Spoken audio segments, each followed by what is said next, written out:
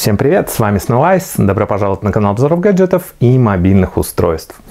А, всех с прошедшими праздниками, с Новым годом, с Рождеством. Наверняка многие из вас получили очень много классных, замечательных подарков от родных, близких, любимых. Вот и мой ребенок тоже а, получил некоторое количество наличных от бабушек, дедушек, э, теть, дядь и так далее. Э, ну, было принято решение, что вместо того, чтобы дарить что-то маленькое, ну, они подарят какую-то небольшую сумму денег, чтобы ребенок мог самостоятельно сделать себе некий большой подарок. Мы, естественно, как родители, подарили все-таки ему хороший, большой новогодний подарок, но э, все остальные, скажем так, просто сбросились э, деньгами. Мне кажется, это правильно, ничего плохого в этом нет. Ну и вот, собственно говоря, встал вопрос у ребенка. Дело в том, что некоторое время назад он а, неаккуратно а, уронил телефон свой.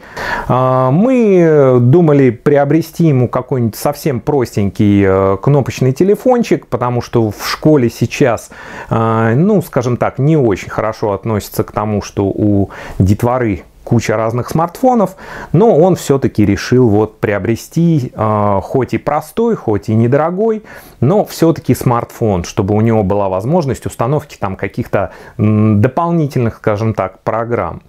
Э, встал вопрос, он э, накопил некоторую сумму денег, э, которая на момент, скажем так, предновогодний составила порядка 4,5 тысячи рублей. Долго думали, смотрели, а, сумма была четко определена, поэтому я прекрасно понимаю, что сейчас начнется очень много комментариев. Да зачем ты это купил? Добавил бы тысячу, добавил бы полторы.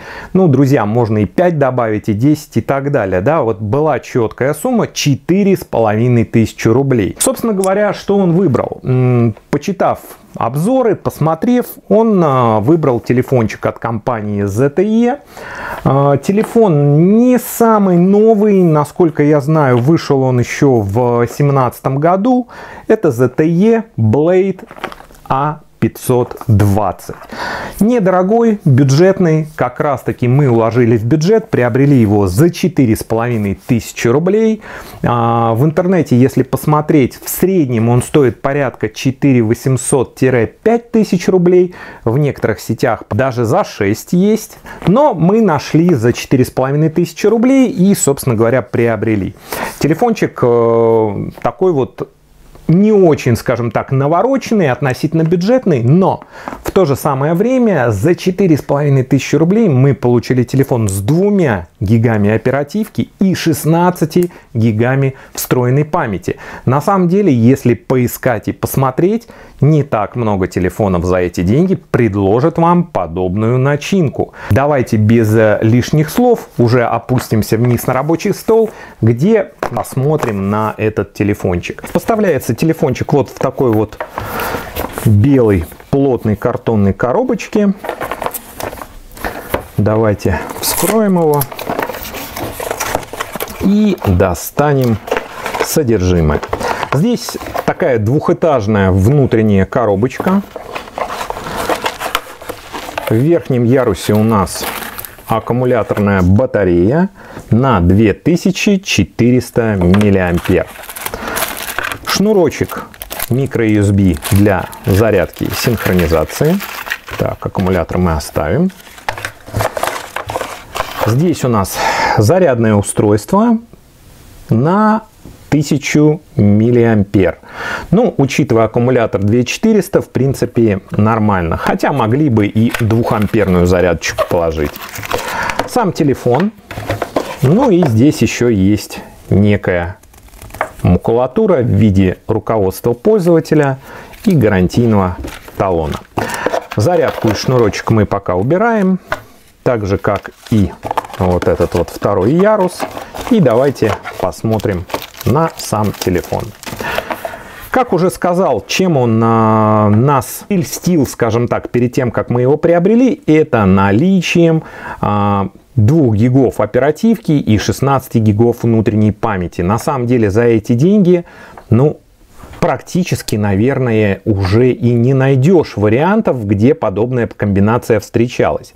Процессор здесь не самый мощный, не самый новый, но вполне себе бодренький, бюджетный 6737 МТК, который, в принципе, позволит вам а, пользоваться телефончиком, использовать каждодневные а, разные софтинки и, возможно, даже немножко немножко поиграться в не очень требовательные игры.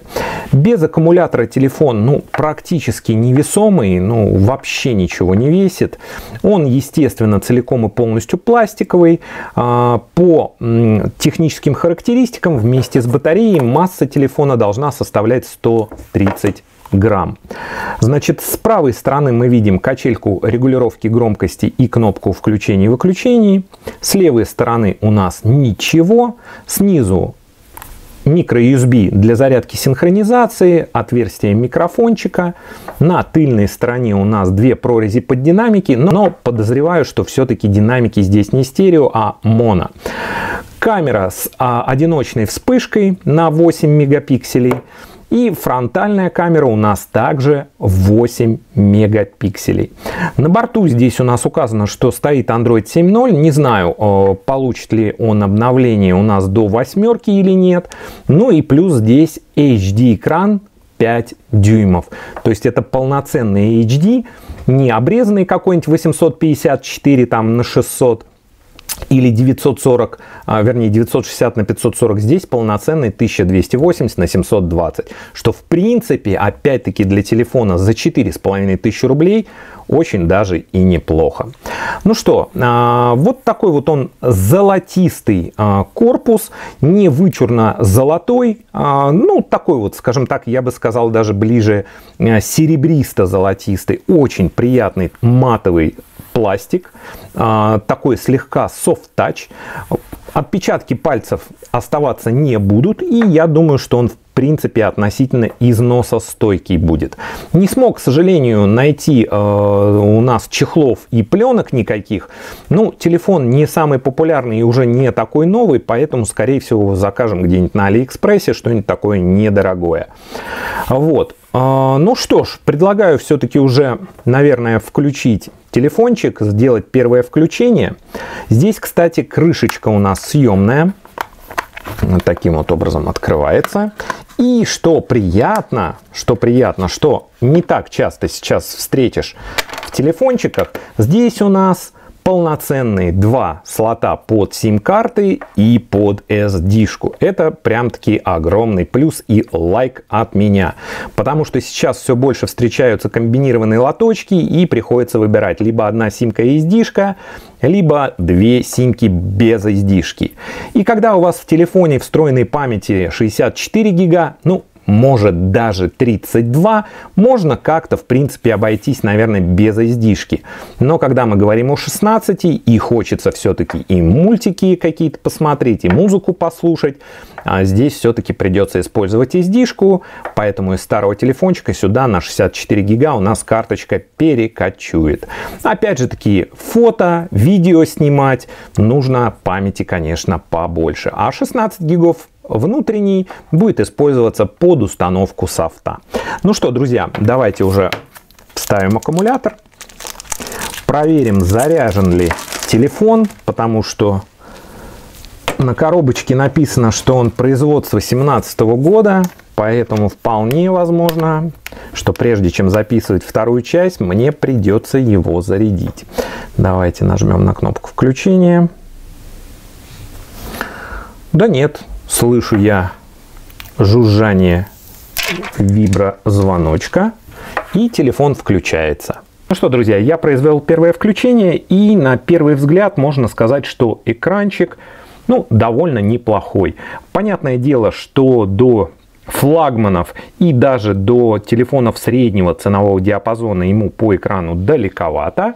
Но как для бюджетников вполне себе неплохая IPS матрица, никакой инверсии нету, углы естественно у нас максимальные, все видно прекрасно.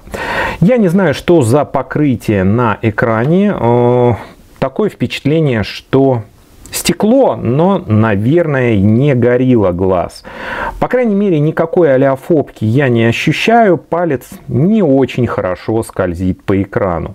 Ну, понятное дело, что какого-то особого дискомфорта это не доставляет, но то, что экранчик будет собирать отпечатки пальцев, это факт. Сейчас яркость у нас выкручена на максимум. И, в принципе, ее более чем достаточно. Я думаю, что для помещения можно будет ставить где-то 20 там 30% яркости. Вполне себе достаточно. А максимальной яркости, я думаю, что даже в солнечный день на улице будет достаточно для того, чтобы экран не выцветал. А, здесь предустановлены все сервисы Google. Это естественно. Телефончик у нас белый куплен официально, а, но также и представлены сервисы Яндекс. Здесь вот у нас поиск Яндекс, а, какие-то дополнительные надстроечки, куча мусора, центр Z-Game какой-то, Accuweather, UC браузер, BookTouch. Ну, короче, довольно много а, программ, которые здесь установлены и которые нужно будет однозначно вычищать. Быстренько сделал я Antutu Benchmark. А, запустил его. И, собственно говоря, Здесь никаких откровений, 35 тысяч попугайчиков. А, для, скажем так, данного типа устройства, это вполне себе нормальный результат. Единственное, что некорректно здесь отображается тип процессора, здесь указан 6735, хотя на самом деле здесь установлен МТК 6737. Android установлен у нас 32-битный, несмотря на то, что сам процессор 64 бита, 4 ядра и работает на частоте до 1250 а, мегагерц. Mali T720 у нас здесь отвечает за графику. Ну, скажем так, вполне себе средненькое графическое решение, которое позволит поиграть вам в казуалке. Ну и как уже говорилось, 5 дюймов, 1280 на 720 у нас экранчик, и PPI у нас 320, что вполне себе хорошо. А, никаких пикселей, естественно, мы не видим. Обе камеры у нас на 8 мегапикселей и батарейка на 2400 миллиампер. Разрешается она довольно-таки быстро. А, вот сейчас буквально буквально, наверное, минут 20-25 я пользуюсь телефоном, сделал бенчмарк, а, установил буквально несколько программ, и э, когда я его включил, было 52%, сейчас уже 42%. То есть 2400 мА у вас, если вы будете пользоваться активно телефончиком, будет хватать, дай бог, на световой день. Ну а в принципе, если пользоваться им как звонилкой и время от времени использоваться какими-то дополнительными функциями, я думаю, что на полтора-два дня будет вам заряда хватать. Потому что процессор здесь не самый мощный стоит, да и экранчик 5 дюймов, а не лопаточные 5,5 или 6 дюймов, к которым мы уже привыкли. Давайте послушаем громкость звоночка. Звук. Рингтон. Так. Мелодии.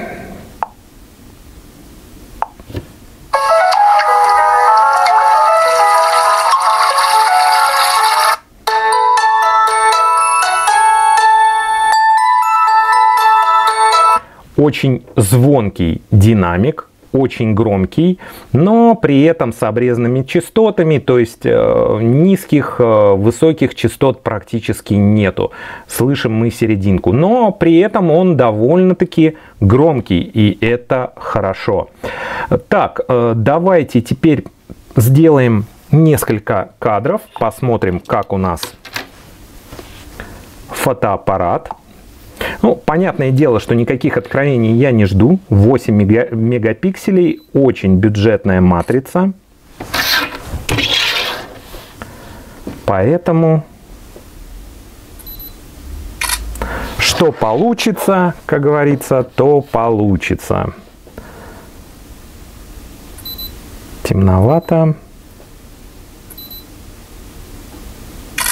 И давайте сделаем такую вот такой вот кадр, но со вспышечкой. Сделаем вкл. Так.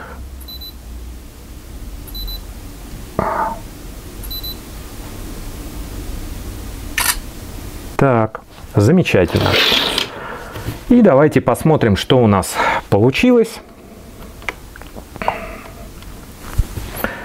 Кадр со вспышкой. Фокусировался на красненькую машинку и, собственно говоря, она в фокусе. Но вот к смурфику уже идет небольшой расфокус. Но, в принципе, учитывая то, что фокусировался я на нижний левый угол, а, правый у нас верхний получается, ну, не совсем в фокусе. Это нормально. Здесь у нас без вспышки. Шумов не наблюдаю.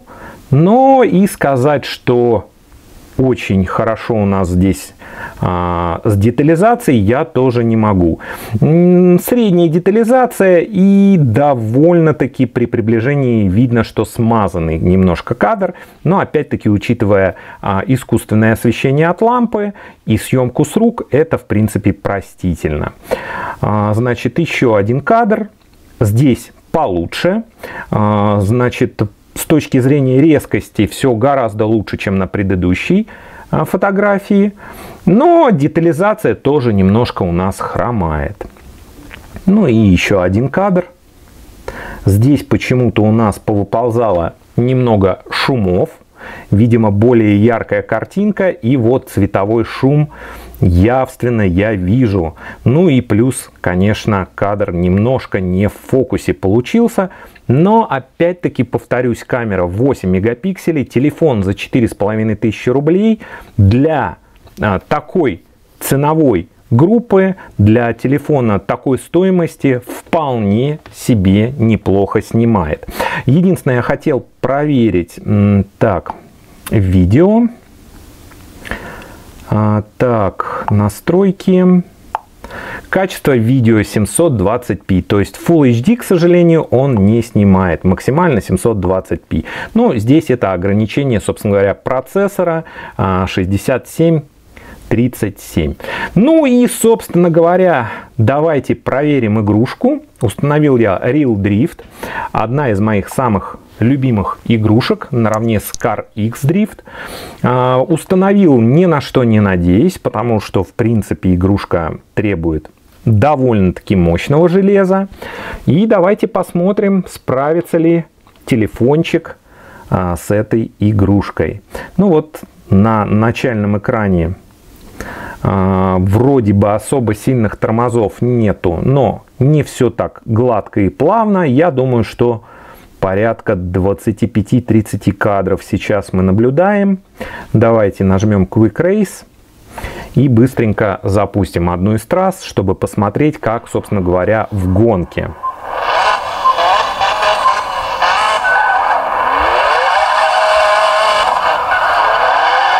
Установки графики я не менял, то есть я загрузил игру и те настройки, которые были, те и остались. Ну вот, собственно говоря, я наблюдаю, что картинка не настолько плавная, насколько хотелось бы. Она, конечно, не фризит и не лагает, но, честно говоря, мы видим, наверное, порядка 20-25 кадров сейчас. То есть можно сейчас попробовать поиграться с настройками графики. Давайте посмотрим. Опции графика. Так, что здесь можно отключить у нас? Так, HD Texture, Auto Quality. Ну, можно попробовать отключить HD текстурки. Давайте посмотрим. Ну, собственно говоря, стало пободрее. Вы знаете, реально прибавилось с десяток FPS точно, а то и 15. Ну, то есть, в принципе, запросто можно даже в такую навороченную достаточно 3D игрушку поиграться на телефоне без всяких проблем немножко буквально подкрутить графику и, собственно говоря, все прекрасно работает. Ну что, друзья, а, вот таким вот образом а, получился у нас Обзор и распаковка все в одном. Довольно неплохое устройство, легенький достаточно. Понятное дело, что по мощности не самое мощное устройство, но опять же, что вы хотели за 4,5 тысячи рублей. Наверное, аккумулятор хотелось бы побольше, хотя бы 3000 мАh, но это все-таки я уже привередничаю. Ребята, за 4000, ну 4,5 довольно неплохое устройство. 2 гига оперативки, 16 встроенной памяти. Неплохая камера, по крайней мере вот в помещении получаются неплохие снимки на четверочку. Я думаю, что на улице можно получить вполне себе сносный, годный результат. Поэтому я думаю, что ребенок будет вполне себе счастлив и доволен. И за четыре с половиной тысячи рублей вы получаете вполне годное устройство даже для 2019 года. Ну что, друзья, с вами был Айс. Надеюсь, обзор вам понравился. Подписывайтесь, ставьте лайк. Всем пока!